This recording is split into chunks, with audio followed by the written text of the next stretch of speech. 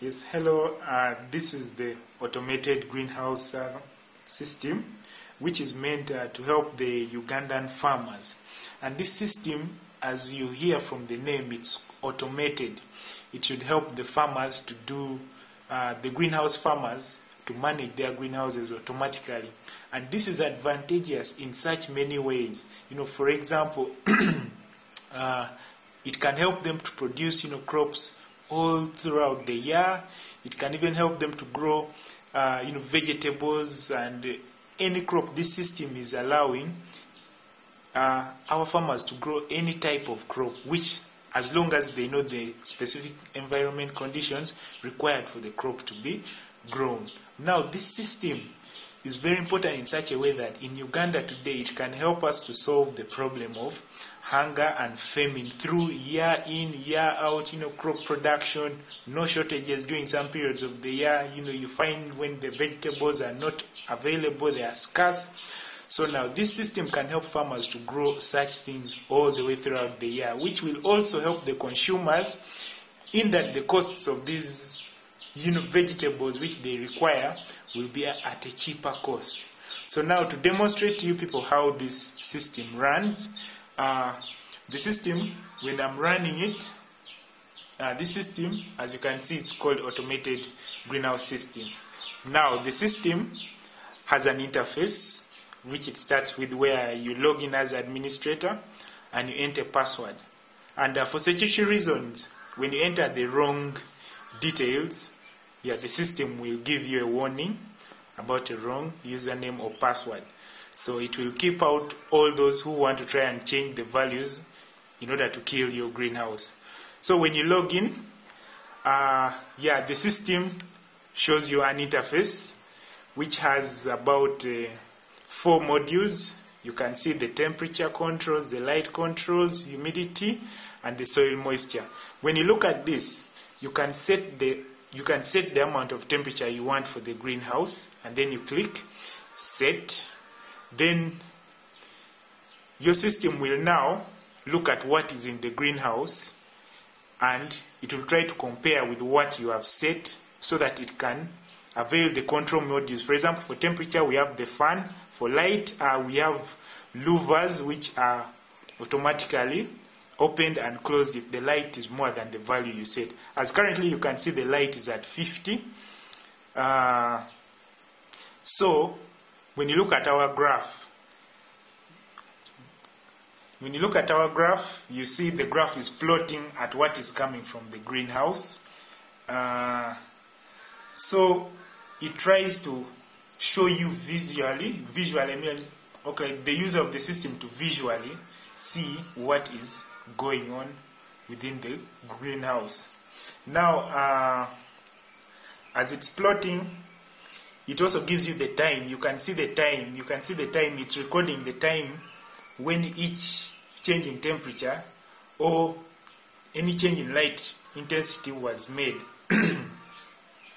so the system, as you see, is advantageous in this way that you know, someone just has to monitor the greenhouse from his or her computer without actually being at the greenhouse. Now when we test this, when we test and we reduce the amount of light, you can see what's happening to our graph. Our graph is dropping down because the light is being reduced. Is being reduced. Uh, you see the light is being reduced from the greenhouse. So when we let go, you will see our light will start to rise slowly, slowly above the graph which you are seeing there. Also, this system, given that, you know, under the light, it can help the farmers. For example, there are crops which don't need a lot of light. For example, those who are growing flowers, when they set a certain amount of light, then they can they can uh, be able to grow that crop.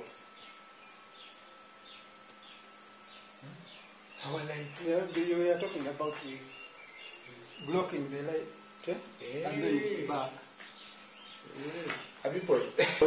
uh, showing you what is coming from the greenhouse.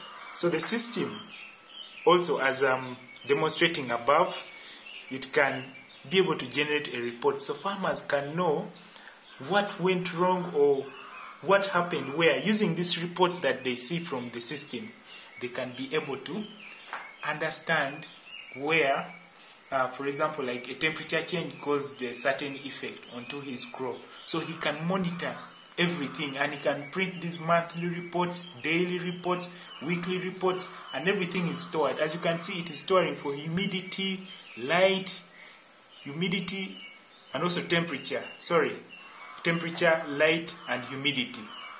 So this report yeah someone can present to their bosses or if he's a greenhouse manager he can present you can prevent this. You can present this.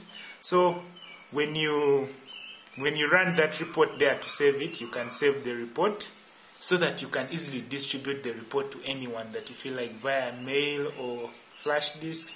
So you save and unfortunately my pdf is run out but when you save the file it will print for you the file. And uh, you can also get online can remove it. okay this is our control module. Uh, this is the one that controls everything which is concerning the greenhouse. But the instructions as you can see are coming from our computer right there. This computer is simulating either the computer of the greenhouse manager. So someone can remotely control the environment of the greenhouse when you look at our greenhouse here we have the arduino board. This is the one which is processing all the instructions that are being sent from the user the other side. Now when you when you look at the lcd it is displaying the current temperature and light which are coming from the greenhouse. So all these things are in here combined. Uh, we have our sensors. Right here we have the light sensor. This small sensor here is the one that detects the amount of light. We call it the photoresistor. Uh, we we then have we have here our temperature sensor which is this black uh, element right here. Yeah that element. Then we also have our humidity sensor right here. It's in blue. It's a little dark but it's in blue. So these are the sensors that pick the values from the greenhouse and they bring this all to the user to show everything that is happening. If the temperature is high he can be able to monitor and reduce it from his computer. Now here we also have our simulation of the greenhouse. This we are using this box to currently illustrate what our greenhouse would look like. Now uh, as you realized earlier the temperature is much higher than what we had set from the system. We had set a value of about 15 20 there. Yeah but the greenhouse now the temperature sensor is reading a value which is much higher. So when we look at the fan this fan is now running automatically to try and cool down whichever temperature is in this box right now. If the temperature drops right below the one that has been set, then this module will just stop cooling down automatically and then come back again when the temperatures go much higher. So, just a summary this system will be very helpful to the farmer because they can grow crops all the way throughout the year without any disruption and having total control of the environment in which they are growing their crops. Thank you.